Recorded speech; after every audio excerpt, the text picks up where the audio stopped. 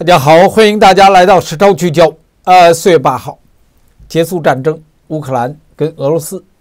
川普一直讲说二十四小时之内可以结束战争。呃，如何进行达成的？呃，应该是原文是《华盛顿邮报》获得了一份所谓机密的东西，然后我们现在看到的是英国的《每日电讯》。英国的《每日电讯》呢，川普昨天明确讲，他很欣赏英国的《每日电讯》的报道手法。和对他报道的本身，啊，这里面主要提到，其实也没有什么太多新鲜的故事。呃，川普会迫使乌克兰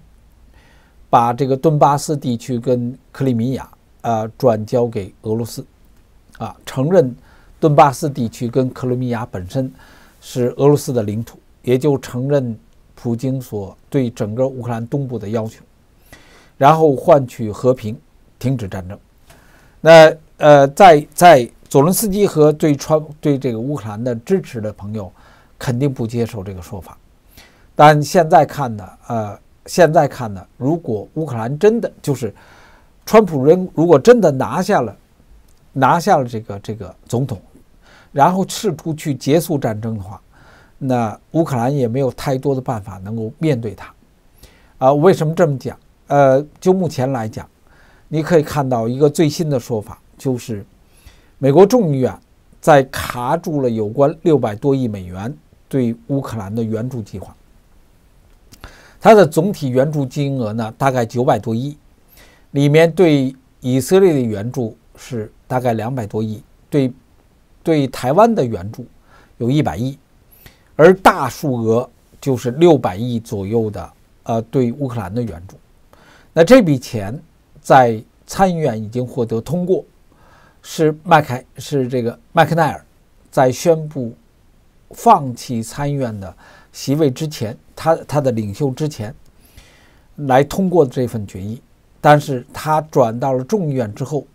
就被现在的众议院的这个呃 speaker 就是议长给终止了，完全就没有在参在众议院没有进行讨论。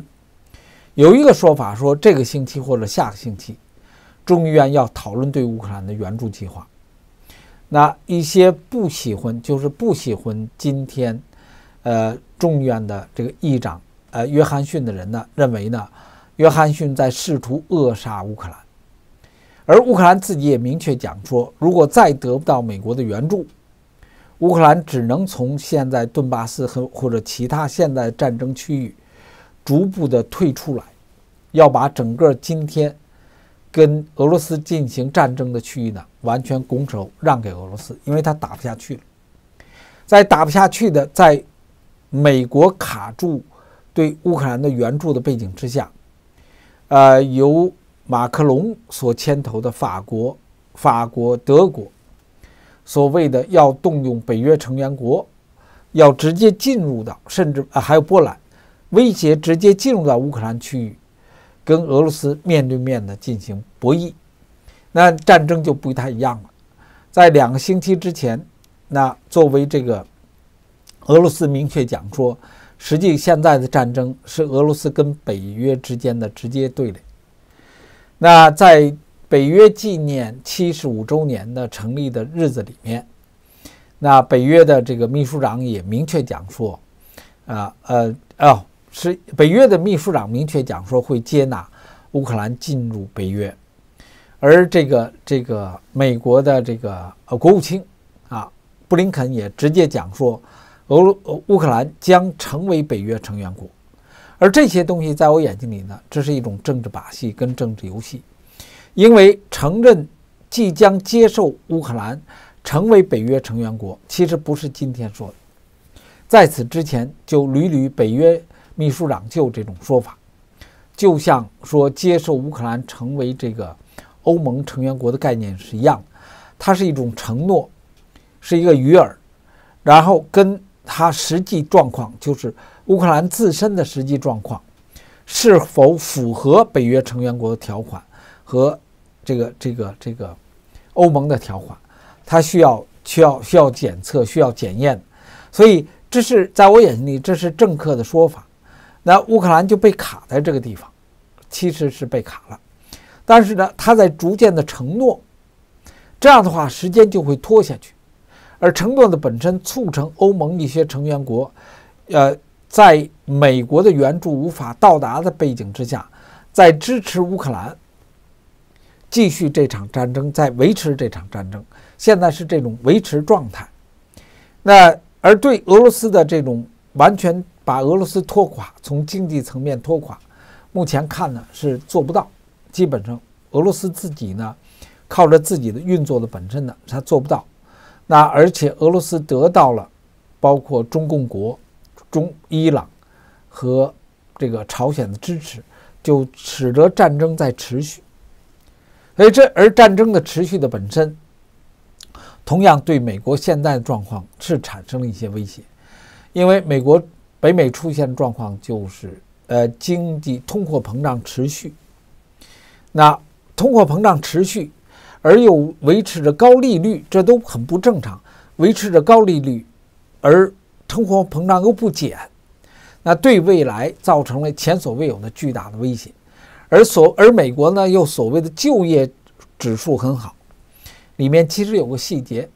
美国的就业指数好的很大原因，是因为美国政府三级政府雇佣了大批人员，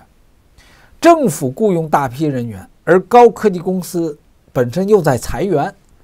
包括银行也在裁员，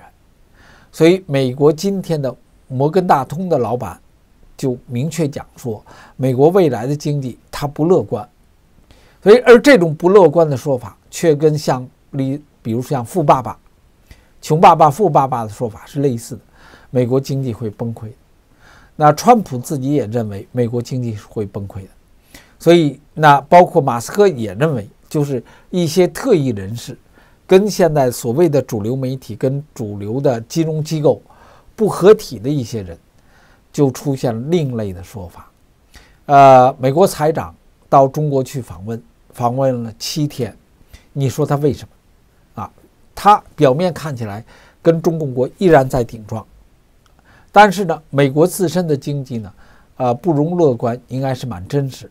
在此之前，财长曾经去过中共国，也维持了很长时间，但是呢，可能跟习近平个人有关，所以就一直谈不拢。那我现在想跟大家分享，就是说美国内部的状况，啊，美国内部的状况跟实际的状况呢，呃，跟我们看到的表面实际状况是有冲突的。而川普是一个比较透明的人，就是他跟所谓的我们看到的深层政府也好。跟现在的拜登政府也好是非常正面冲突的。那在无论从大选的需要来讲，和川普的个性本身的表现来讲，我们可以从另外一点讲述这句话，就是战争不能持续。战争不持续，它会，因为战争持续的本身对美国也不好，相当不好，它就会逼迫啊今天的乌克兰去，你甭管是出卖土地也好。去去投降也好，他要把战争停下来，所以我们不去评价，我个人不想评价说俄罗斯如何，乌克兰如何，但是从川普的个人角度来讲，就是用以土地换和平，结束战争，结束今天美国政府在战争中的这种几千亿美金的这种补偿，那作为和对北约的支持，那川普不干，川普唯一的需要。就是让美国再伟大。如果川普的让美国再伟大，逼迫乌克兰交出土地，然后换取和平，那朋友们，你支持不支持？所以这个社会是一个非常混乱的、非常实际、非常混乱的社会。所以我个人坚持认为，其实是西方文明被摧毁，啊，西方文明在摧被摧毁，无论从任何角度，而西方文明的被摧毁。是跟今天所谓的西方文明社会缺少透明、缺少真实，而对普罗的普罗大众的老百姓都有一种欺诈的成分在里头。呃，信仰产生不了作用，宗教也产生不了人与人之间坦诚相见的作用，这是文明衰败的标志。感谢朋友 interested.